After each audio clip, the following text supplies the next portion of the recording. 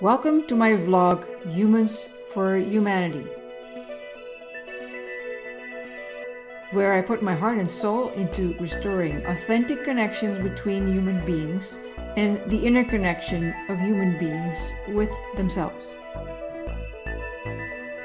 I'm your host, Erna Stassen, and this is a new episode. Hello there, and welcome to my very first vlog. In this first episode, I'm going to talk about um, how information control the people. Those who control information control the people. And lately, I've been wondering about the question how do we know what we know, and how do we know if that is true? And you can go really deep into the rabbit hole to figure out what is true and what is not true, or how do we really know that what we know, what we think we know, is true. And I want to start with a quote from G. Massey. He was an Egyptologist. Not sure who he is, but it's a good quote. They must find it difficult, those who have taken authority as the truth rather than the truth as the authority.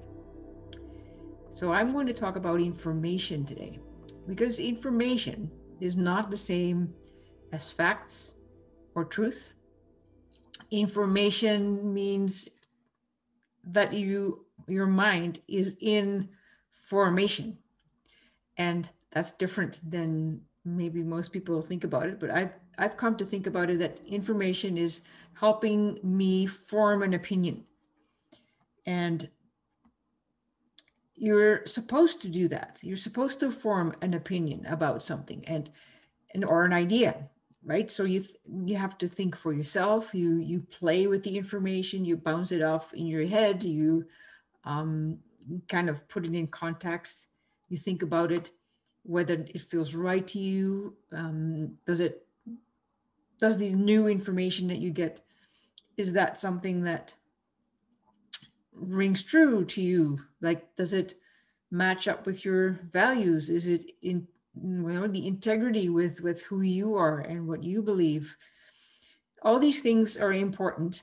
And also when you bounce it off with other people you want to know how other people think about this and what have other scientists for example when you're looking at science well what other information is out there? And so you just don't settle with what's in front of you, you remain curious. And this is how you form an opinion, you form an idea. And even though science sounds like, well, it's just the facts, that's not true. Science is constant, constantly criticized and, and valued and revalued and, and researched. So there is no consensus when it comes to science. It's that's that's not science. Science is the opposite of consensus. It's critical thinking. It's reevaluating. So that's what i think about information. It helps to have lots of different information so that you can because your brain your mind is in formation. And this is how you form an opinion. And I, I the way i see it there's an absolute truth and then there is relative truth but there isn't really very much that we can call absolute truth, is there? Um, I think maybe maybe math. um, what what is re- irrefutable? Gravity, um, mathematics, um, which maybe another kind of science, or God is is God irrefutable? Most of the time, we're dealing with relative truth, and that is just a perspective um, facts to the best of our knowledge of what we think we know now, which can change. It could be an agree- agreement or consensus or a relative. That's probably what we we think is truth is is that not absolute truth. Even something as concrete as as anatomy, for example, and I'm a retired physiotherapist, so anatomy was something that I learned and you think well once you know the anatomy you know it all no, it's it's even in this field of anatomy, new things have been discovered, and I'll show you. I'll show you a link that is um, just give me a second here. I'll share my screen. So So here it is. New ligament found in human knee, which was in 2013. And even though humans have been studying their bodies for centuries, piecing it together, um, these researchers found another ligament in the knee. And it says here a French surgeon first postulated its existence in 1879, but it had never been proven and fully described until now, said Steven Claes, Claes an orthopedic surgeon and study co-author at the University of Leuven in Belgium. So there you have it. No absolute truth. So it is crucial, in my humble opinion, for us humans to never confuse a relative truth with an absolute truth. And confusing the two is actually dangerous because it has the potential to cause havoc in the world, confusion, um, polarity, war, fights, division, hatred.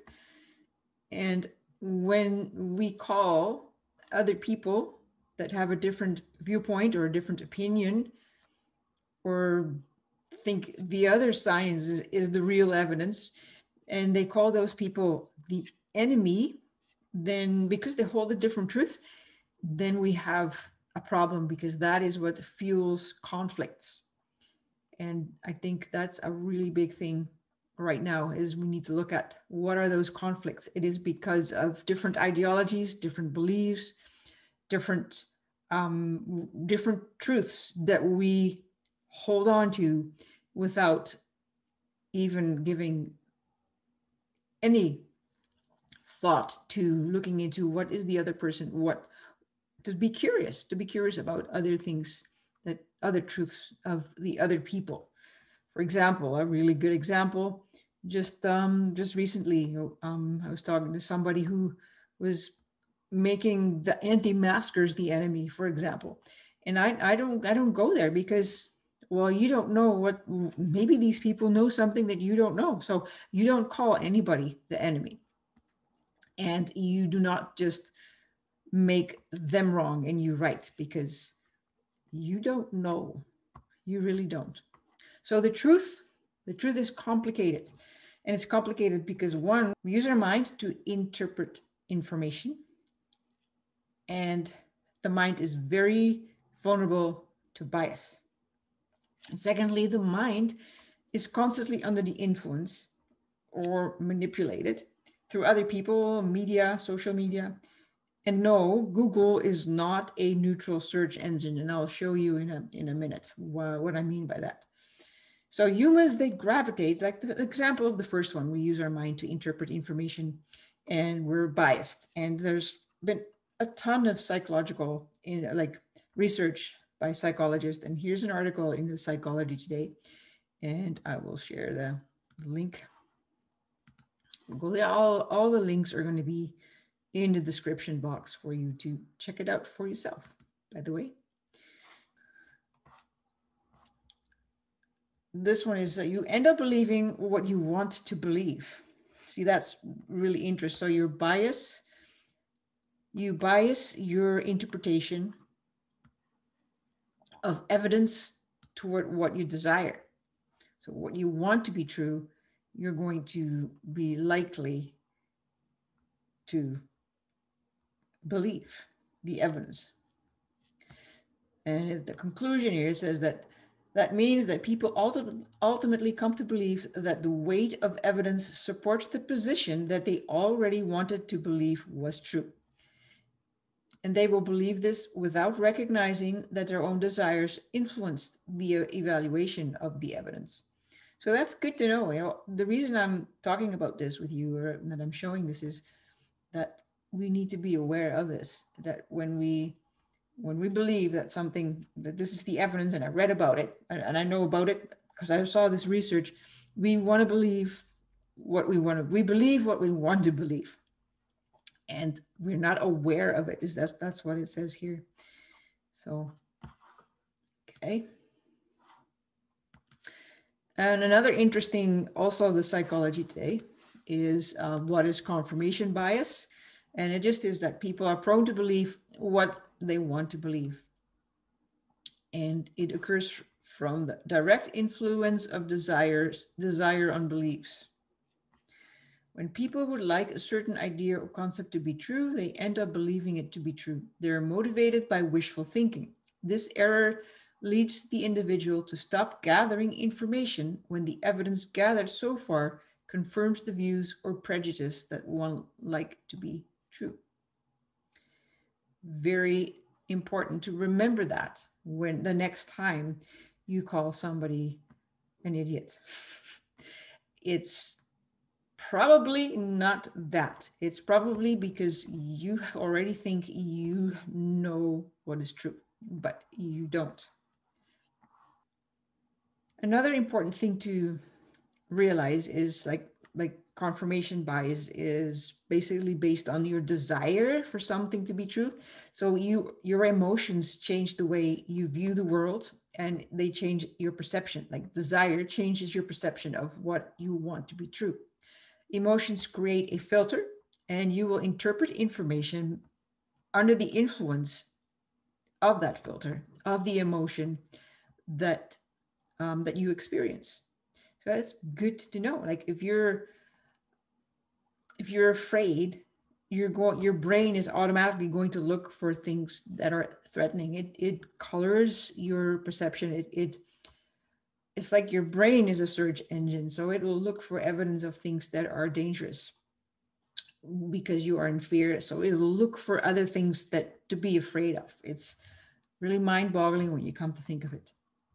So the second point I mentioned why um, the truth is complicated. So the first is because we interpret information, our mind is vulnerable to bias. The second one is we're always under the influence or even manipulated through other people, um, the media, social media. And when you think you're going to look up some information in a neutral, just, just Google it. Google isn't neutral, and I'll show you an article on that too.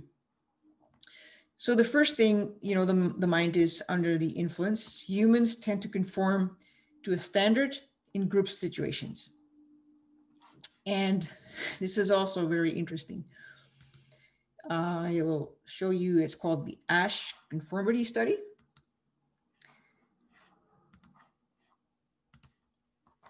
And what that study did was it's, um, the results of the study are important when we study social interactions among individuals in the groups. This study is a famous example of the temptation that many of us experience to conform to a standard during group situations. And it showed that people often care more about the same, being the same as others, than they do about being right. And it could be so strong that that desire to be the same that even if something is obviously wrong and you see it's wrong and everybody says no this piece is longer than the other. And i think uh yeah this wasn't a research which which line is the longest um the actors there were a whole bunch of actors and only one um poor victim So the tricky part of the study was that in each group, only one person was a true participant and the others were actors with a script. Most of the actors were instructed to give the wrong answer. Strangely, the only true participant always agreed with the majority, even though they knew they were giving the wrong answer. So that's how strong that is. Noam Chomsky, he said, um, how it is, how it is, we have so much information but know so little. And I'll share this article with you uh, right here. 10 strategies of media control according to Noam Chomsky. So I'm not going to go through the whole article in detail. Um, I'm just going to mention a few and I might spend a, a video on this article because it is so interesting. And then I'll give some more examples. So the first one I mentioned is distraction. You know, you watch television and you just kind of become numb and and you're watching. Sometimes you even just uh, mindlessly um, use your remote control and it's it's really mind numbing the other thing is that you get overloaded with information and that's um, also another your, your brain gets very tired from all that you get overwhelmed. The second strategy that um, the media uses so this is the, the 10 strategies of media control right? So according to this this guy who is by the way a uh, a, a, thought leader and and um, he's a highly respected intellectual in the world. Um, so this is um, in the new york times the new york times said he's the most important thinker of our current era and this is an older it's from 2018 so just so you know, just a bit of background. The second one is a really important one, and it's called problem, reaction, solution. Sometimes the powers that be purposely purposefully neglect or at least don't really address certain realities. They make their citizens think it's a problem that needs an outside solution and then they themselves put forth the solution. This is a very popular strategy for unpopular decisions. And we're living in one right now where the problem, a virus, is there and there's a little bit more going on, but now, you know, the solution is the vaccine, and it's not a very popular, maybe not a popular solution, or masking or social distancing. These are solutions. Um, but what what they're trying to do is is the idea is to to justify the solution, and that is what has been happening. If you watch a lot of TV, you've become desensitized and no, and you know the the new norm is is nothing it's it's just normal and and it's and it's not. It's just not normal to wear masks. And it's not normal to put masks on toddlers. It's not. Yet our society is becoming more used to it and it's and it's everywhere. It's everywhere on the radio on the television. Even when you're on the highway it's like wear your mask and social distance and don't travel. It's that's manipulative um, but you don't realize that that's what it is. Very closely related the gradual strategy the goal here is to get the public to allow things that they wouldn't normally accept by introducing them very gradually so that the people won't even notice. And so this is also something they, it's like they were moving the goalposts all the time. First it was just flatten the curve and then it was let's do it a bit longer. And now the lockdowns are more, and now they're doing curfews. It, it's now there's no mask, masks, two masks. It's gradual strategy. So this is a very interesting article that I would recommend reading. Uh, treat people like children, and of course, going the emotional route, um, instilling fear, inst- stirring up the emotions, um, keeping the public in ignorant, not giving full information, just being vague and not clear, which I'm going to do a, another video on that because I, that's really close to my heart. It has to do with informed consent. And if you, like as a physiotherapist, I was really aware that who am I to tell people what to do? So it was very important for me to give a lot of background, make sure they understood what I was saying, and not saying that this is the only way, but let's try this and then we'll go from there really being respectful of um, the people's knowledge and making sure they knew as much as possible about what was going on with their back pain or their headaches. So keeping people ignorant is not a good thing. And it's, I, I think it's well, not human. You can't, it's disrespectful and maybe even criminal.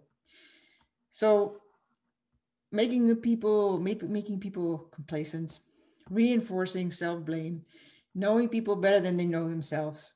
Um, this is good for you. Trust me. Um, and some people, they kind of like the idea that they don't have to think for themselves because they're afraid. And then it's it's nice to have somebody to tell you what to do. And, and So you believe that that will keep you safe.